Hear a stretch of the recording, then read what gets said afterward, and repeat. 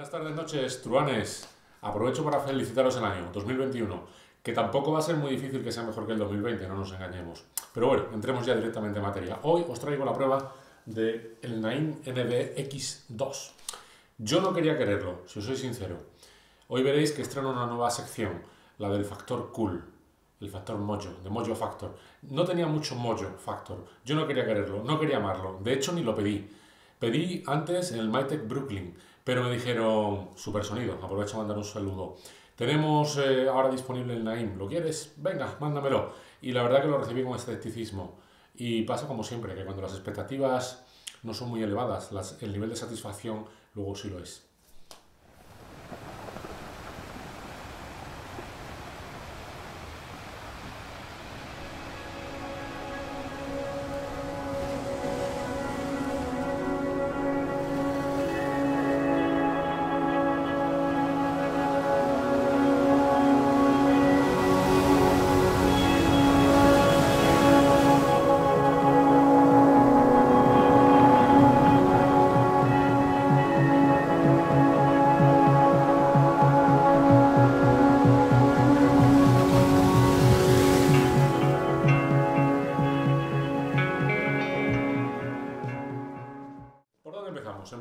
Características técnicas o empezamos por el Mojo Factor? Vamos a empezar primero por ser algo más novedoso por el Mojo Factor.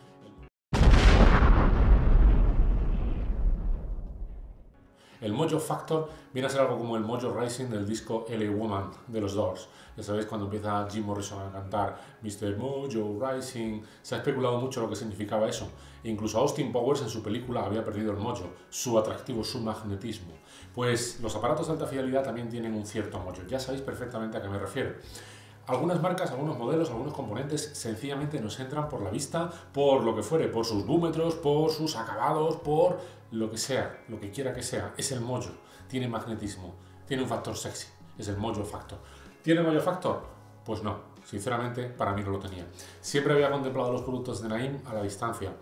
Esas conexiones tan singulares, parece que en estos son muy british, son muy de la pérfida Albion siempre con su propia moneda, conduciendo por el lado que no es, por el lado equivocado de la carretera y con unos conectores tipo DIN, 5 puntos DIN, que no acepta conexiones de otra naturaleza, sí que tiene salidas RCA, pero no tiene conectores XLR.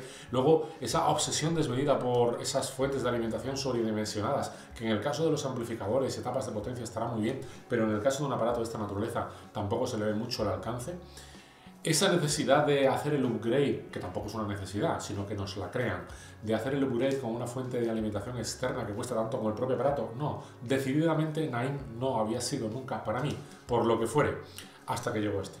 Cuando la saqué de la caja, el factor Mojo empezó a subir y fue un Mojo Rising de los buenos, muy bueno. Simplemente por cómo lo sentía al tacto. Ya sé que esto no tiene mucha incidencia en el sonido, pero pesado, contundente, robusto, Puñómetro, luego hablaré del puñómetro. Muy bien, la sensación de calidad que percibí por todos lados, eh, extremadamente bueno. Realmente, cuando lo tuve en las manos, Naim empezó a reflejárseme de otra forma. Fue cuando el factor mojo empezó a subir, decididamente empezó a subir y empezó a cautivarme. Ahí ya las expectativas y la realidad empezaron a separarse.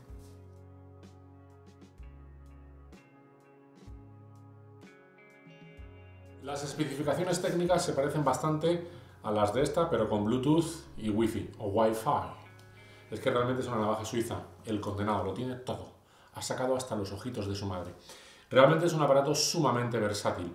Incluso allá donde otros se atragantan, por ejemplo, con la posibilidad de montar un sistema NAS, NAS, Network Attached System, un disco duro externo manejando vía remoto una biblioteca musical, que muchos reproductores suelen tener limitaciones a 32 GB, disco duro externo, este en cambio no pone ningún tipo de problema al manejar bibliotecas de hasta un terabyte, que es lo que le he podido enchufar.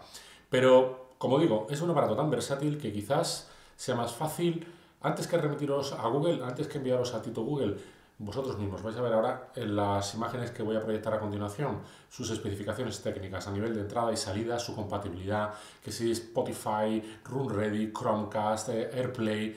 La verdad es que no le falta prácticamente ningún tipo de atributo de conectividad a nivel moderno, bien sea Bluetooth o bien sea a través de una red Wi-Fi. Aunque si os soy sincero, esta prueba se ha hecho fundamentalmente con la conexión Ethernet, que es la que más eh, fiabilidad me ofrece. Al mismo tiempo, a nivel de entradas y salidas, pues bueno, pues podéis ver que también está la última, desde la conexión Ethernet, pasando por salidas SPDIF, entradas digitales que tiene hasta 4. Eh, bueno, pues el aparato realmente es un aparato que a nivel de conectividad se le echa poco en falta. Quizás una conexión de tipo HDMI, que está ahora tan en boga, pero yo particularmente no la he visto, no la he echado en falta. El aparato está construido sobre el puntal básico de una fuente de alimentación típico, genuino, elemento o aspecto destacable de Naim. Realmente, a la vista de la fuente de alimentación, pudiera pensarse que estamos ante un amplificador integrado o incluso ante una etapa de potencia. Hay amplificadores integrados y etapas de potencia con fuentes de alimentación más pequeñas.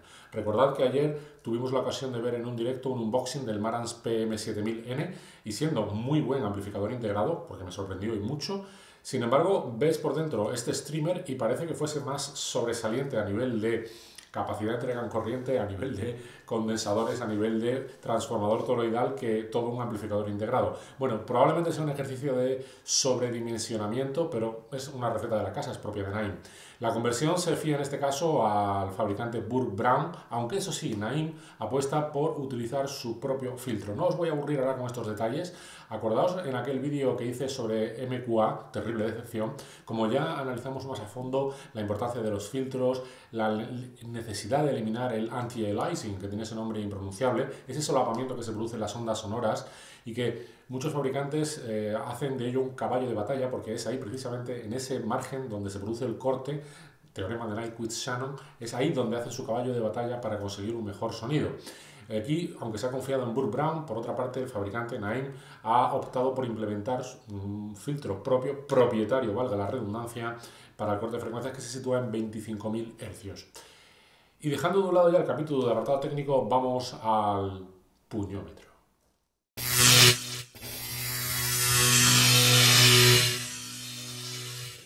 Si os soy sincero, no tengo muy claro si el apartado puñómetro tendría que haber ido incluido en el apartado Mojo Rising, pero bueno, sea como sea, y siendo también una tontería como es lo del fisting, ya se ha convertido en marca de la casa. Puñómetro approved, absolutamente approved.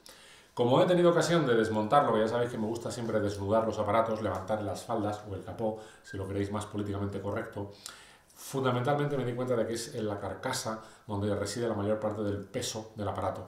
Luego el chasis es un chasis autoportante, que se diría en el mundo de la automoción, donde van implementadas todas las soluciones, todas las placas de circuito impreso.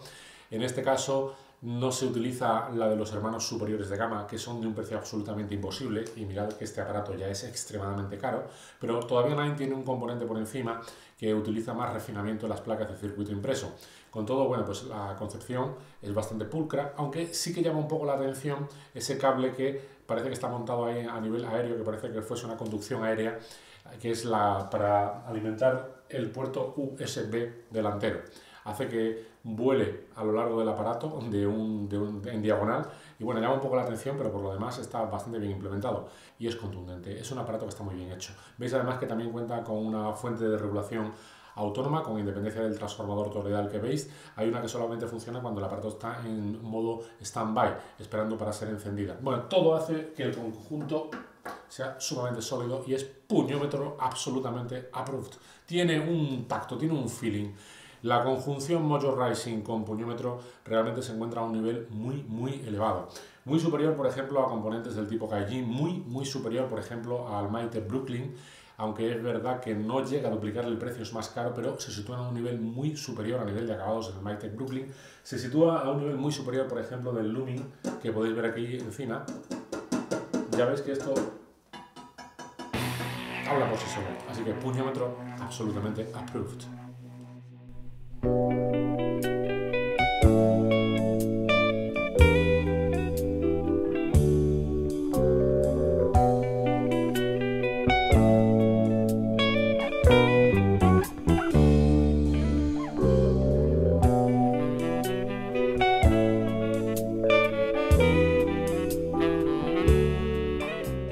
Cortes de audio.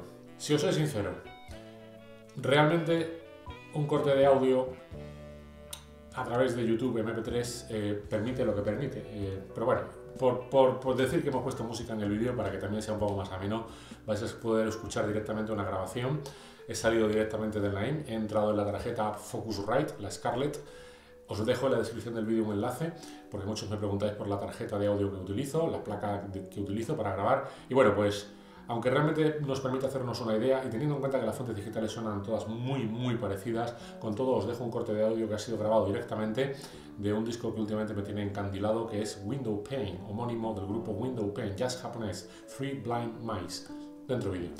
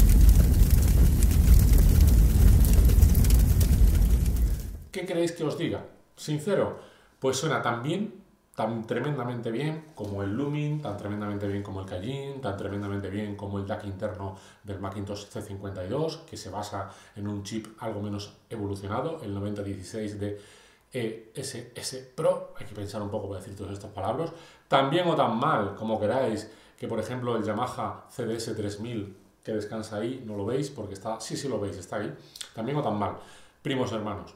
He hecho una cosa que, creo que es, de rigor a la hora de hacer las pruebas. Y es que he utilizado un tono de un kilohercio y luego a su vez con un sonómetro en el punto de escucha he igualado niveles.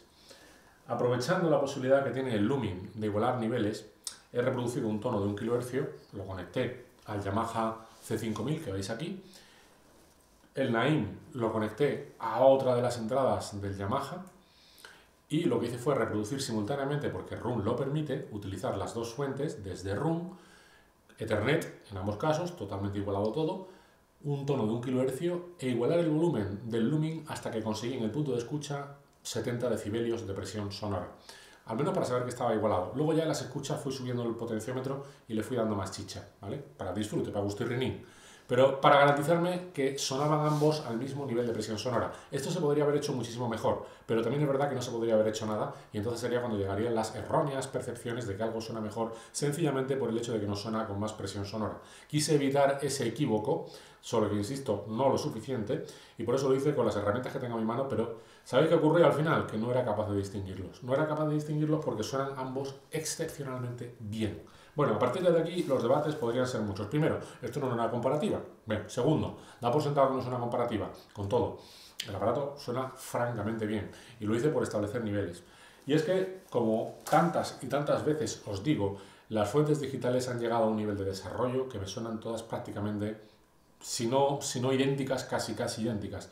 Utilizo el símil metafórico de primas hermanas, pero realmente eh, sería decir tanto como que yo particularmente no soy capaz de distinguirlas. Y mirad que he estado contando píxeles, mirad que he estado contando sonido, mirad que he estado intentando bucear, pillar, fijarme en los platillos aquí, fijarme en esto allá, en la inflexión de la voz en este punto, a ver si ahora me ha sonado bien. Daba exactamente igual. Puse a sonar uno, puse a sonar el otro, no fui capaz de distinguirlos. Con lo cual, sonar, suena muy bien. ¿Cómo describir el sonido de algo que por otra parte es estándar y de lo que vengo hablando habitualmente en el canal? Pues se hace francamente distinto. Yo particularmente mm, tengo dificultad, no lo sé si es eh, cuestión mía, pero tengo dificultad de decir, voy a decir o a describir cómo suena este frente al otro cuando me suenan prácticamente idénticos. Entonces, por mi parte yo sería, creo que no sería honesto decir, he notado el microdinámica, la micro de tal, el micro fucking, el micro fisting, el micro go fine. Idénticos, indistinguibles francamente. ¿Por qué me ha gustado tanto, que me tiene enamorado como el toro de la luna, como un carnero con ojos de carnero de collar? Pues por su estabilidad en la conectividad. Muchas veces os he dicho aquello de que jamás he levantado el trasero, el orto, el culo, tanto del asiento como con los streamers. Con el vinilo, hasta que no cambias la cara, no te levantas del asiento. 20, 25 minutos, 30 en función de los casos. Con esto por la pérdida de la conexión, porque ahora se queda colgado, porque ahora no va el Bluetooth, porque ahora no se empareja con el teléfono móvil o con la tableta. No me he levantado tanto del asiento con los streams como he hecho con el vinilo. O sea, es, es algo que prácticamente no tiene ningún tipo de explicación lógica. Algo que en principio nace para facilitar la vida al audiófilo, algo que supone que es la evolución, algo que supone que va a ser la comodidad elevada a la enésima potencia, con muchos, no con uno ni con dos, sino con muchos, se termina convirtiendo en un quebradero de cabeza. El transporte del Kaijin me ha parecido horroroso, malísimo en ese sentido. El Mytek también dejó mucho que desear en este sentido, perdía mucho la conectividad. Es más, yo estaba con el Mytek escuchando música y si me entraba algún mensaje en el teléfono móvil, se perdía la conexión, automáticamente se quedaba bloqueado. O si abría el WhatsApp para WhatsAppear con quien fuera, parecía que perdía el enlace también. Con el Looming he tenido algún incidente también de perder la conectividad. ¿Y sabéis con el que durante todo el tiempo que ha durado esto el aparato, el componente que jamás de los jamases en ni una sola ocasión daba igual que diluviase o que no diluviase, fuese como fuese, jamás el line perdió la conexión, jamás de los jamases. Ya podía estar buceando a través de la aplicación, ya podía ser desde el ordenador con Room, bien fuese abriendo la tableta en el punto de escucha, abriendo el disco duro, o bien fuese buceando a través de Room, porque la aplicación de Room también funciona. Puedes manejarlo con la aplicación de Nine, que es muy intuitiva, muy fácil, visualmente muy atractiva. Puedes manejarlo también con la aplicación de Room, puedes manejarlo desde Room con el ordenador, puedes manejarlo con la app de teléfono móvil de Room o de Nine fuese como fuesen todas y cada una de las circunstancias, siempre respondió y jamás se quedó colgado. Siempre fue rápido, además de intuitivo, sumamente fácil, no me ha dado ningún problema. Es el único streamer con el cual no he tenido que levantar el culo del asiento. Con lo cual muchos dirán, bueno, pues solamente las virtudes van a ser que es mm, tremendamente estable la conexión, pero que no suena mejor, pues es que, repito, es que para mí suenan todos prácticamente primos hermanos. Todavía hasta la fecha no puedo decir que haya uno que suene tanto mejor que los demás. Podríamos hacer una excepción con el Oppo 205 porque no me gustó y en ese caso sí que podría decir que sonó peor que los demás. Pero el resto me han parecido todos, ya digo, indistinguibles. Este otro más. Eso sí, a nivel de construcción, a nivel de intuitividad, a nivel de estabilidad en el enlace, a nivel de facilidad de manejo, flexibilidad en el manejo. Eh, además, la posibilidad de ver la pantalla grandota para los que somos gafotas desde el punto de escucha, hacen que para mí, hasta la fecha, haya sido el mejor streamer que ha pasado por aquí. Sin duda, el mejor. Me tiene encantado. Me va a dar una pena tremenda devolverla. Devolverlo. Que chico, chica, da igual. Me va a dar una pena tremenda tener que enviarlo de vuelta de nuevo. Un aparato impresionante. Me he tenido que tragar mis palabras y decir que ahora sí soy de Nine.